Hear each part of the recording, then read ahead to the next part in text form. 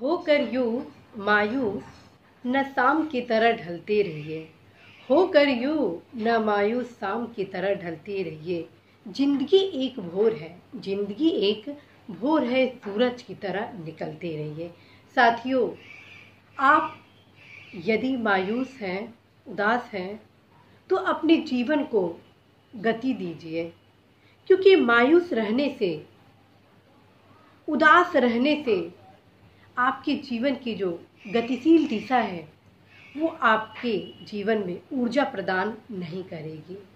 और यदि आप अपने भीतर एक सकारात्मक भाव को जागृत करें तो अवश्य ही आप भी सूरज की भांति चमकेंगे और आपके जीवन में हर एक दिन भोर होगा और उस भोर में आप नवीन उपलब्धियों को प्राप्त करेंगे।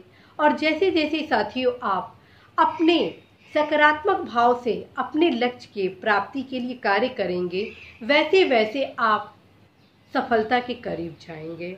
साथियों, कोई विकल्प नहीं है कि हम अपने लक्ष्य प्राप्ति में जब अनेक समस्याएँ देखते हैं तो हम यूँ हाथ पे हाथ धर के बैठ जाए।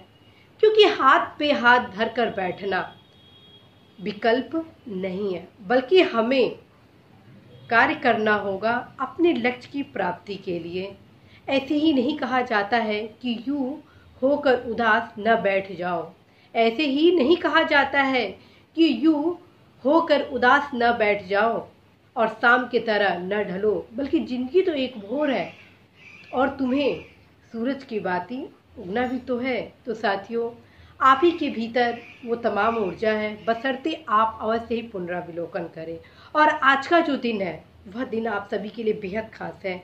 जैसे ही आप इस वीडियो को संपन्न करेंगे, वैसे ही आप एक अपने भीतर शपथ लेंगे कि आज मेरे जीवन में एक नई शुरुआत होगी और निश्चित रूप से मैं अपने लक्ष्य की प्राप्ति के लिए कार्य करूँगा ही करूँगा।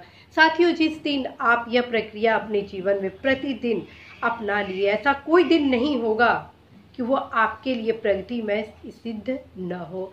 साथियों, कहा जाता है कि यदि आप किसी चीज़ को शिद्दत से चाहे, साथियों, कहा जाता है कि यदि कोई चीज़ आप शिद्दत से चाहे तो ब्रह्मांड भी साजिश करने लगता है कि कैसे आपको वह चीज़ दिला दे। तो साथियों, आप पल प्रति पल, हर दिन आप अपने लक्ष्य के प्रति कम से कम पाँच मिनट ज़रूर यह कहे कि मैं अवश्य अपने लक्ष्य को प्राप्त करूँगा ही करूँगा। और उस पाँच मिनट में आप अपने लक्ष्य के लिए एक छोटा सा रूपरेखा ज़रूर बनाइए। इससे क्या होगा साथियों कि आपकी रूपरेखा आपके सबकॉन्शियस माइंड में चला जाएगा और जैसे ही सबकॉन्शियस माइंड में जाएगा, वैसे ही आप नित्य अपने लक्ष्य के करीब पहुँचना आरंभ करेंगे। अब आप सोचेंगे, वो कैसे?